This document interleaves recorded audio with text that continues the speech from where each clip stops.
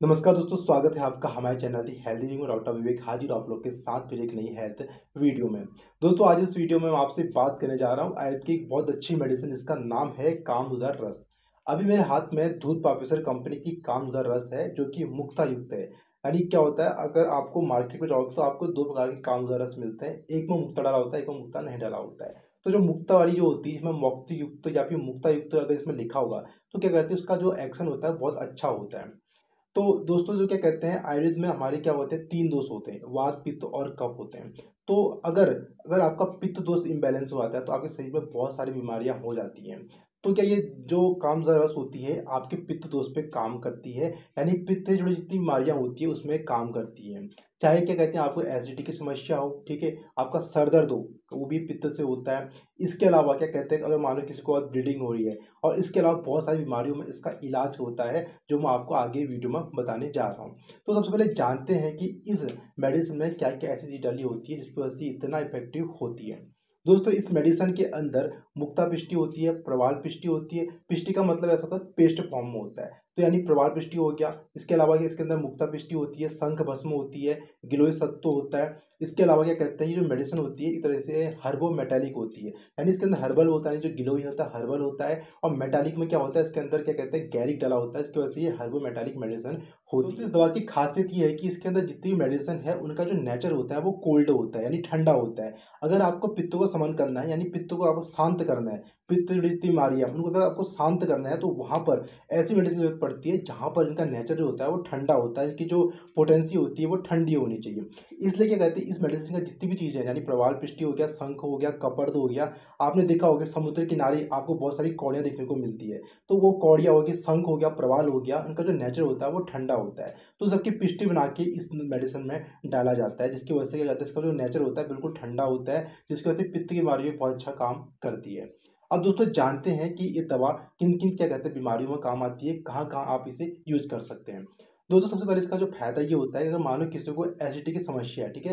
मान किसी क्या कहते हैं कहते हैं खट्टी डकारें आती हों, ठीक है? और आपको क्या कहते हैं, आपको जलन सीने में जलन की अनुभव होता हो तो वहाँ पे दवा बहुत अच्छा काम करती है, क्योंकि इसके अंदर कैल्शियम कार्बोनेट बहुत अधिक मात्रा में होता है। बहुत लोग की दिक्कत होती है कि उनके पेट में एसिड जो एसिड होता है, वो बहुत ज़्यादा निकलने लग जाता है, जिसकी वजह से क्या होता है, उनके सीने में जलन होती है, खट्टी डकारें आती हैं और क्या कहते हैं, उनको एसिडिटी की समस्या बहुत होती है। तो दवा क्या करती है दोस्तों कैल्शियम कार्बोनेट जब एच के साथ मिलता है यानी हाइड्रोक्लोरिक एसिड के साथ मिलता है तो ये न्यूट्रलाइज कर देता है जिसकी वजह से क्या होता है आपके जो पेट में जो एसिड बनना होता है वो न्यूट्रलाइज हो जाता है जिसकी वजह से आपको एसिडी समस्या से आपको राहत मिलती है। ऐसे लोग जिनको एसिडिटी की समस्या रहती है या फिर डिस्पेप्सिया रहता है ठीक है और उनको खट्टी टिकार आती है जलन होती है क्या कहते हैं गले में सीने में जलन होता है तो वहाँ पर आप इसको यूज़ कर सकते हैं। दूसरा इसका फ़ायदा ये होता है कि अगर मान लो किसी को ब्लीडिंग डिसऑर्डर्स है, मान लो अगर किसी के नाक से खून बहता है, ठीक है? अगर मान लो किसी को पाइल्स है पाइल्स है और वहाँ पर क्या कहते हैं ब्लीडिंग हो रही है तो वहाँ पे दवा बहुत अच्छा काम करती है। अगर मान लो किसी को कहते हैं खून की उल्टी हो रही है, मान लो किसी को कहते हैं खून गले से निकल रहा हो तो वहाँ पर दवा बहुत अच्छा काम करती है, आपके पित्त का समान करती है, क्योंकि कहीं ना कहीं जो खून होता है ना, वो पित्त से बहुत समानताएँ रखता है। अगर पित्त बढ़ता है तो क्या कहते हैं, खून की मात्रा बहुत शरीर में बहुत ज़्यादा बढ़ने लगती है, जिसकी वजह से क्या होता है, खून आपके शरीर से बहुत जगह से निकलने लगता है। तो वहाँ पर क्या कहती है, आपके पित्त दोष को बैलेंस करती है, जिसकी वजह से आपको ब्लीडिंग की जो समस्या है, उससे आपको राहत मिलती है। तीसरा दोस्तों इसका फ़ायदा ये होता है, अगर मान लो किसी को बहुत लंबे टाइम से माइग्रेन की समस्या है, सिर सिरदर्दी की समस्या है, बहुत सारी दवाई आपने खा ली है और तब भी आपको फ़ायदा नहीं हो रहा है तो इसका मतलब हो सकता है कि आपका जो माइग्रेन है, वो कहीं ना कहीं क्या कहते हैं, पित्त की वजह से हो रहा है। दोस्तों, ये आयुर्वेद तो माना जाता है कि जब पित्त दोष बहुत ज़्यादा बढ़ जाता है तो आपको माइग्रेन की समस्या होती है।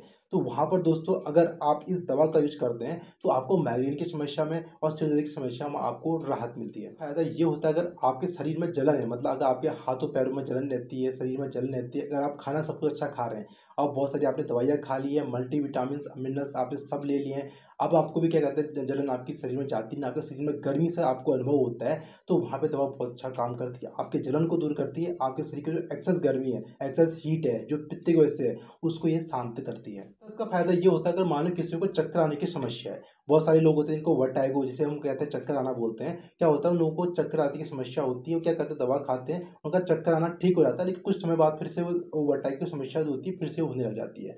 तो वहाँ पर दोस्तों ये दवा बहुत अच्छा काम करती है। आपकी जो चक्कर आने की समस्या है, उसमें आपको राहत देती है।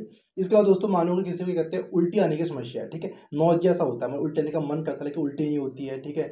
आपके शरीर में क्या कहता है, आपके पेट में क्या कहते हैं, आपको ऐसा लगता है कि कुछ खाया है, वो पच नहीं रहा है तो वहाँ पर दवा बहुत अच्छा काम करती है, क्योंकि दवा क्या कहती है, आपके एसिडिटी को भी ठीक करती है, आपके पाचन को भी, यानी डाइजेशन को भी ठीक करती है, जिसको वजह से क्या कहते हैं, आपके एसिडिटी की समस्या भी ठीक होती है। और नौजिया में भी क्या होता है, बहुत टाइम क्या होता है कि खाने अगर आपके पेट में कुछ ऐसा खाना चल जाए जो क्या कहते हैं डाइजेस्ट नहीं हो पा रहा है तो वहाँ पर नोजे की समस्या भी देखने को मिलती है। तो ऐसे में आप इस दवा का यूज़ करके देख सकते हैं।